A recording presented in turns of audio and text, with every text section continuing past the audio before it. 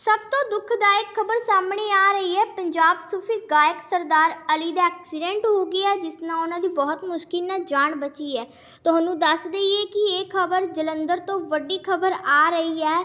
ਪੰਜਾਬ ਸੂਫੀ ਗਾਇਕ ਸਰਦਾਰ ਅਲੀ ਦੀ ਗੱਡੀ ਦਾ ਐਕਸੀਡੈਂਟ ਹੋ ਗਿਆ, ਜੋ ਕਿ ਬਹੁਤ ਹੀ ਭਿਆਨਕ ਸੀ, ਜਿਸ ਵਿੱਚ ਸਰਦਾਰ ਅਲੀ ਕਾਫੀ ਜ਼ਖਮੀ ਹੋਏ ਤੇ ਉਹਨਾਂ ਨੂੰ ਨਾਲ ਦੀ ਨਾਲ ਹਸਪਤਾਲ ਵਿੱਚ ਦਾਖਲ ਕਰਵਾ ਦਿੱਤਾ ਗਿਆ। ਸਰਦਾਰ ਅਲੀ ਸ਼ੋ ਮੇਲਾ ਲਗਾਉਣ ਲਈ ਪਠਾਨਕੋਟ ਜਾ ਰਹੇ ਸੀ। ਜਦੋਂ ਪਠਾਨ ਦੇ ਪੋਗੇ ਕਿਨੀ ਪਹੁੰਚੀ ਤਾਂ ਉੱਥੇ ਜਾ ਕੇ ਗੱਡੀ ਆਊਟ ਆਫ ਕੰਟਰੋਲ ਹੋ ਗਈ, ਜਿਸ ਨਾਲ ਸੜਕ ਦੇ ਕਿਨਾਰੇ ਲੱਗੀ ਰੈਨਿੰਗ ਦੇ ਵਿੱਚ ਟੱਕਰ ਵੱਜੀ। ਜੋ ਤੁਸੀਂ ਤਸਵੀਰਾਂ ਦੇਖ ਰਹੇ ਹੋ ਕਿ ਲਾਲ ਰੰਗ ਦੀ ਗੱਡੀ ਰੈਨਿੰਗ ਦੇ ਵਿੱਚ ਕਿਸ ਤਰ੍ਹਾਂ ਦੀ ਫਸੀ ਹੋਈ ਹੈ। ਤਹਿਲਕਾ ਨਿਊਜ਼। ਜੇਕਰ ਸੱਚ ਲਿਖਣਾ, ਸੱਚ ਬੋਲਣਾ ਬਗਾਵਤ ਹੈ, ਤਾਂ ਸਮਝੋ ਪਹਿਲਕਾ ਨਿਊਜ਼ ਬਾਗੀ ਹੈ। ਸਰਕਾਰ ਤੱਕ ਪਹੁੰਚਾਉਣ ਲਈ ਤਹਿਲਕਾ ਨਿਊਜ਼ ਹਰ ਟਾਈਮ, ਹਰ ਵਕਤ ਤੁਹਾਡੇ ਨਾਲ ਹੈ।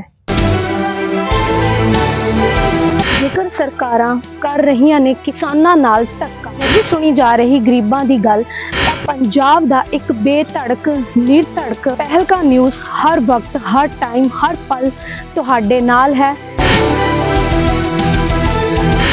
ਜੇਕਰ ਨਾਲ ਹੋ ਰਹੀ ਹੈ ਬੇਇਨਸਾਫੀ, ਪ੍ਰਸ਼ਾਸਨ ਨਹੀਂ ਦੇ ਰਿਹਾ ਜਨਤਾ ਨੂੰ ਸਹੀ ਹੱਕ ਤੁਹਾਡੀ ਆਵਾਜ਼ ਚੱਕਣ ਲਈ ਤੇ ਤੁਹਾਡੀ ਮਦਦ ਕਰਨ ਲਈ। ਤਹਿਲਕਾ ਨਿਊਜ਼ ਹਰ ਟਾਈਮ, ਹਰ ਵਕਤ ਤੁਹਾਡੇ ਨਾਲ।